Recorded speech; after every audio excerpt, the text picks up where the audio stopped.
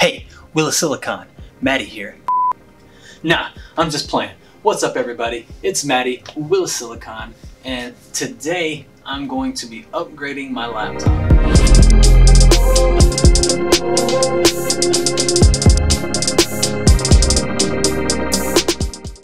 Okay, so I have this Acer Aspire VX15 laptop. I've had it for about three years now. It's been a pretty good laptop for me. Really, the only downside I've had with the laptop is that it only came with a 256 gigabyte M.2 SSD. And that's it. That's, that's it for the storage. So I had this one terabyte hard disk drive that I took out of my wife's laptop and I upgraded hers with a 2.5 inch SSD. And her laptop only had space for one drive and a 500 gigabyte SSD is plenty enough for her. But what I have is actually a gaming laptop, so I wanted some extra space to store games. So first off, I opened it up and then I realized that there's no way to add a hard drive to it. So I checked out Acer's website and I found that they will ship you a hard disk drive kit for free and there is a link to that in the description below. Alright, so now I'm to take you guys through the installation process after your kit comes in.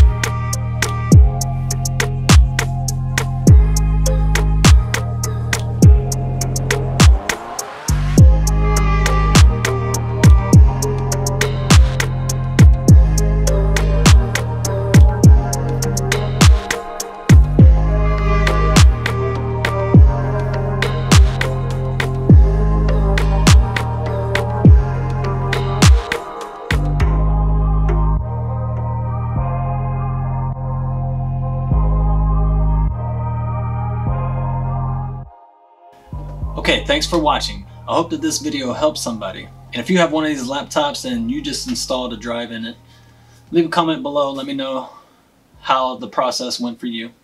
Smash that thumbs up button if this video helped you out. And stay safe and have fun.